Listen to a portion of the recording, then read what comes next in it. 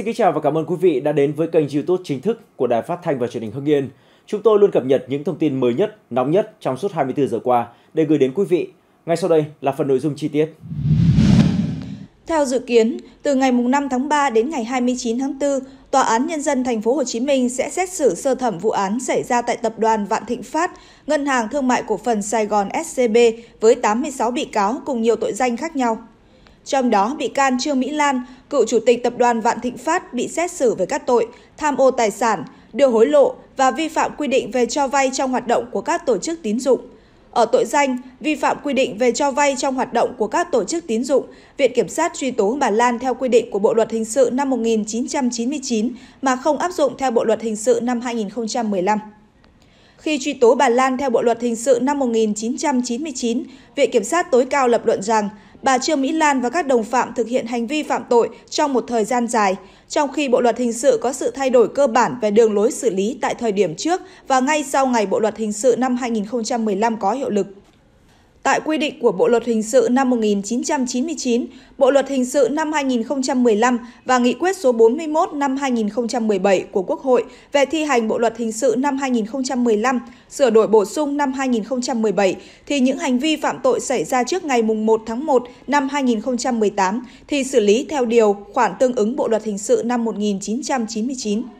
Những hành vi sai phạm nếu xảy ra sau ngày 1 tháng 1 năm 2018 bị xử lý theo các điều khoản của Bộ Luật Hình sự năm 2015 có xem xét đến nguyên tắc có lợi cho các bị can. Từ kết quả điều tra, các cơ quan tiến hành tố tụng đã ra soát, phân loại xử lý các bị can theo các tội danh cụ thể tương ứng với vị trí, vai trò, số lượng, tính chất, mức độ hành vi và lỗi của từng bị can. Theo các cơ quan tố tụng, bà Trương Mỹ Lan có hành vi sai phạm diễn ra trong thời gian dài trước khi Bộ luật hình sự hiện hành có hiệu lực. Cơ quan tố tụng áp dụng nguyên tắc có lợi cho người bị buộc tội nên áp dụng luật cũ đối với tội danh vi phạm quy định về cho vay trong hoạt động của các tổ chức tín dụng theo Bộ luật hình sự năm 1999 thay vì áp dụng Bộ luật hình sự năm 2015. Cụ thể, ở tội vi phạm quy định về cho vay trong hoạt động của các tổ chức tín dụng, Viện Kiểm sát truy tố bà Lan theo khoản 3, điều 179 Bộ Luật Hình sự năm 1999 với khung hình phạt từ 10 đến 20 năm tù, thay vì áp dụng khoản 4, điều 206 Bộ Luật Hình sự năm 2015 với khung hình phạt từ 12 đến 20 năm tù. Cáo trạng vụ án cho biết, hành vi của bà Trương Mỹ Lan và các đồng phạm bị đánh giá là có tổ chức với thủ đoạn tinh vi, xảo quyệt, gây hậu quả đặc biệt nghiêm trọng, chiếm đoạt và gây thiệt hại số tiền đặc biệt lớn. Từ năm 2012 đến tháng 10 năm 2022, bà Trương Mỹ Lan nắm giữ từ 85% đến 91,5% cổ phần của SCB, chỉ đạo, điều hành và thao túng toàn bộ hoạt động của SCB. SCB đã giải ngân cho 1.366 khách hàng là 710 cá nhân và 656 tổ chức. Trong đó, nhóm của bà Trương Mỹ Lan có hơn 2.500 khoản vay tại SCB với tổng số tiền giải ngân hơn 1 triệu tỷ đồng. SCB cho nhóm bà Lan vay chiếm 93% số tiền cho vay, 7% còn lại là nhóm khách hàng thông thường. Đến năm 2022, 875 khách hàng trong nhóm bà Trương Mỹ Lan với gần 1.300 khoản vay còn dư nợ tại SCB hơn 677.000 tỷ đồng. Bà Trương Mỹ Lan đã chỉ đạo thuộc cấp lập khống 916 hồ sơ vay vốn của SCB với số tiền là 545.000 tỷ đồng và chiếm đoạt 304.000 tỷ đồng. Như vậy, SCB ngoài việc mất số tiền gốc bị chiếm đoạt, ngân hàng này phải trả thêm hơn 129.372 tỷ đồng lãi suất. Cục thi hành án dân sự thành phố Hồ Chí Minh cho biết, đơn vị đã thành lập tổ tiếp nhận vật chứng các vụ án xảy ra tại công ty cổ phần tập đoàn Vạn Thịnh Phát, Ngân hàng Thương mại Cổ phần Sài Gòn SCB và các công ty đơn vị tổ chức liên quan, gọi tắt là tổ tiếp nhận vật chứng các vụ án Vạn Thịnh Phát. Tổ tiếp nhận vật chứng các vụ án Vạn Thịnh Phát của Cục thi hành án dân sự thành phố Hồ Chí Minh gồm ông Phan Văn Hoàng, trưởng phòng phòng kế hoạch tài chính, tổ trưởng và hai tổ phó là ông Trần Đình Hoàng, trưởng phòng phòng nghiệp vụ 2 và bà Nguyễn Thị Bình, phó trưởng phòng phòng kế hoạch tài chính cùng 12 chấp hành viên. Tổ tiếp nhận vật chứng các vụ án Vạn Thịnh Phát đang triển khai tiếp nhận tăng vật vụ án từ cơ quan cảnh sát điều tra Bộ Công an C03. Quá trình tiếp nhận, tổ tiếp nhận vật chứng các vụ án Vạn Thịnh Phát đã đảm bảo công tác tiếp nhận tuyệt đối an toàn, không để xảy ra sai sót. Các tăng vật sau khi tiếp nhận được bảo quản cất giữ theo đúng quy định của pháp luật. Các vật chứng dự kiến nhận bàn giao bao gồm sổ cổ đông, giấy chứng nhận sở hữu cổ phần, thiết bị điện tử, vật lưu trữ dữ liệu điện tử, các sổ tiết kiệm, điện thoại di động các loại và hơn 1.500 giấy chứng nhận quyền sử dụng đất. Đối với các vật chứng có số lượng ít, dễ kiểm tra, giả soát thủ quỹ kiêm nhiệm thủ kho vật chứng trực tiếp kiểm tra, đối chiếu và chịu trách nhiệm nhập kho tăng vật theo quy định. Đối với các giấy chứng nhận quyền sử dụng đất, chấp hành viên phải đối chiếu thông tin giữa giấy chứng nhận quyền sử dụng đất và phụ lục đính kèm.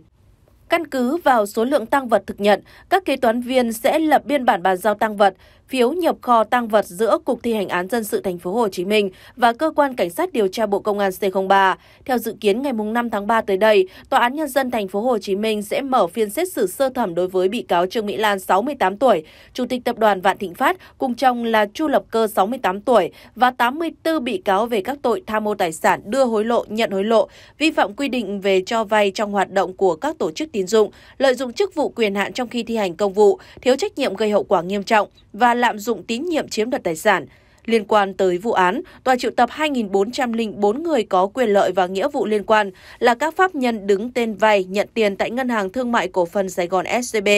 các cá nhân tại Ngân hàng Nhà nước, cá nhân đứng tên công ty, đứng tên vay, đứng tên các tài sản thế chấp tại Ngân hàng SCB, thực hiện việc nộp rút tiền các cá nhân thuộc nhóm cán bộ ngân hàng SCB và người có quyền lợi và nghĩa vụ liên quan khác. Cơ quan Cảnh sát điều tra Bộ Công an vừa hoàn tất kết luận điều tra bổ sung đề nghị truy tố 51 bị can trong vụ án xảy ra tại Công ty Cổ phần Tập đoàn FLC, Công ty Cổ phần Chứng khoán BOS, Công ty Cổ phần Xây dựng faros và một số đơn vị liên quan. Trong số này có bị can Trịnh Văn Quyết, cựu chủ tịch tập đoàn FLC và hàng loạt người thân. Theo kết luận điều tra bổ sung của Cơ quan Cảnh sát điều tra Bộ Công an, cựu chủ tịch FLC Trịnh Văn Quyết và các đồng phạm đã có hành vi thao túng thị trường chứng khoán, hưởng lợi bất chính 723 tỷ đồng và nâng khống vốn điều lệ công ty cổ phần xây dựng Faros chiếm đoạt 3.620 tỷ đồng. Cơ quan Cảnh sát điều tra Bộ Công an còn đề nghị truy tố các bị can thuộc Ủy ban Chứng khoán Nhà nước cùng về tội công bố thông tin sai lệch hoặc che giấu thông tin trong hoạt động chứng khoán gồm Lê Công Điền, vụ trưởng vụ giám sát công ty đại chúng, Dương Văn Thanh, tổng giám đốc Trung tâm Lưu ký Chứng khoán Việt Nam, Phạm Minh Trung, trưởng phòng đăng ký chứng khoán. Với vai trò là vụ trưởng, khi được giao chỉ đạo thẩm định hồ sơ đăng ký công ty đại chúng của công ty cổ phần xây dựng Faros, bị can Lê Công Điền đã phát hiện hồ sơ đăng ký không đủ cơ sở để xác định số vốn thực góp, các báo cáo kiểm toán không đúng pháp luật về kiểm toán vì không đủ cơ sở để đưa ra ý kiến chấp nhận toàn phần. Nhưng bị can Điền không thực hiện kiểm tra, xử lý đối với công ty kiểm toán, thu hồi báo cáo kiểm toán mà vẫn chấp thuận hồ sơ đăng ký công ty đại chúng, sau đó công bố trên phương tiện thông tin của Ủy ban Chứng khoán Nhà nước về việc chấp thuận hồ sơ đăng ký công ty đại chúng đối với công ty cổ phần xây dựng Faros có số vốn điều lệ là 4.300 tỷ đồng. Từ đó, cựu chủ tịch FLC Trịnh Văn Quyết cùng đồng phạm đã lợi dụng việc này để thực hiện việc đăng ký lưu ký, đăng ký niêm yết 430 triệu cổ phiếu và thực hiện hành vi lừa đảo chiếm đoạt tiền của các nhà đầu tư trên thị trường chứng khoán.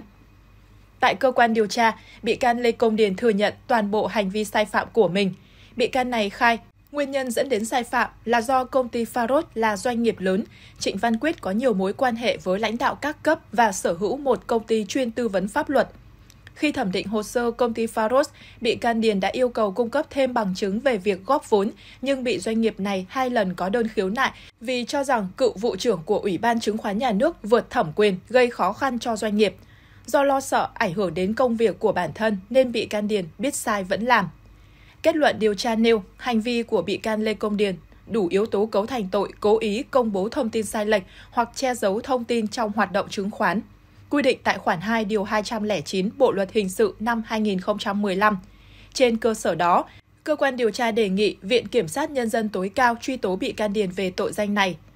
Tương tự với vai trò là Tổng Giám đốc Trung tâm Lưu ký Chứng khoán Việt Nam – khi nhận được hồ sơ đề nghị đăng ký, lưu ký 430 triệu cổ phiếu của công ty Faros bị can Dương Văn Thanh biết rõ hồ sơ chưa đủ cơ sở để xác định số vốn thực góp nhưng vẫn ký, cấp giấy chứng nhận đăng ký chứng khoán đối với công ty này, đồng thời thông báo đến các thành viên lưu ký công ty chứng khoán.